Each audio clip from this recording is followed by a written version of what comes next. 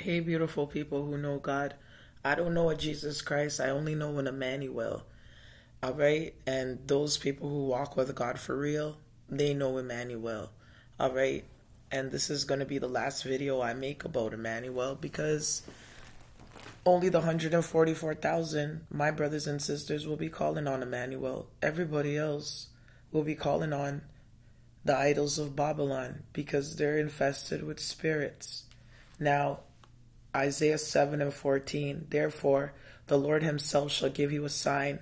Behold, a virgin shall conceive, that virgin was Mary, and bear a son, that son, and they shall call his name Emmanuel.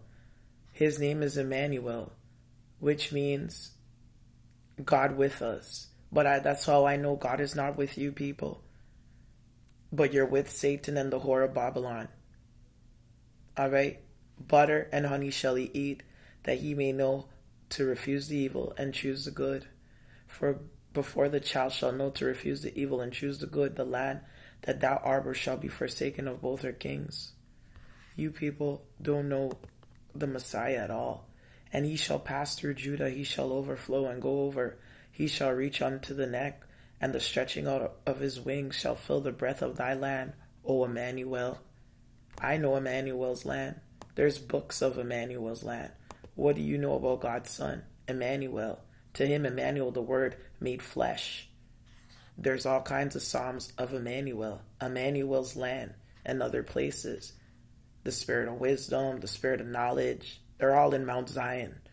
The Spirit of strength, the Spirit of mercy, they're in Emmanuel's land. But you don't know Emmanuel, right? Because you're not in his army. The city of sin and it's captured by Emmanuel's army, right? The army of Emmanuel storms the city. Um, let's read it a little bit.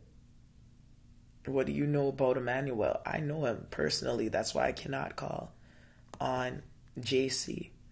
I can't call on him because I've I know the truth. I know the truth and that name was given to you, right? That's why you guys walk in rivalry and debates because you don't know him. Mr. Spite, um, Mr. Fair of a Laugh. There's there's personalities. Mr. Pride of Life is speaker. There is Mr. Morality, Mr. Lust of the Flesh. I don't I know a lot of you. Even Matthew tells you about Emmanuel. Behold, it's in the New Testament for people who only read the New Testament. Behold, a virgin shall be with child, and shall bring forth a son, and shall call his name Emmanuel, which being interpreted interpreted as God with us. Is God really with you, people? Is God with you? God's been saying this to you. You should know his son's name. And Christ says, If another come in my name, you will receive him. But God tells you he's with you from the beginning, from Genesis to Revelation. God tells you he's with you. And Emmanuel, his son's name, God with us. Isaiah 41 and 10 Fear not, for I am with thee. What does Emmanuel mean? God with us. You don't have God with you. You don't have the Messiah, the real Son of God. Be not dismayed, for I am thy God. Now, Deuteronomy Be strong and of good courage. Fear not, nor be afraid of them, for the Lord thy God is he that goes, that does go with thee. He will not fail thee, nor forsake thee. Now, Jeremiah 46 and 28 Fear thou not, O Jacob, my servant, says the Lord, for I am with thee. For I will make a full end of all nations where I have driven thee, but I will not make a full end of thee, but correct thee in measure, and I will not leave thee wholly unpunished. God is with you. Fear not. Isaiah 43 and 5. Fear not, for I am with thee. I will bring thy seed from the east and gather thee from the west. Is God really with you? Is God really with you? Now, if we go to how powerful Isaiah his name is, it tells you in Isaiah 8 and 10. But let me put it into perspective for you. Um, associate yourselves, O you people, and you shall be broken in pieces. He's going to break you with the rod of iron.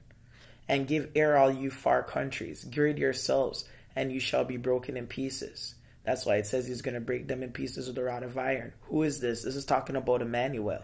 And he shall pass through Judah and shall overflow and go over. He shall reach even to the neck, and the stretching out of his wings shall fill the breadth of thy land, O Emmanuel.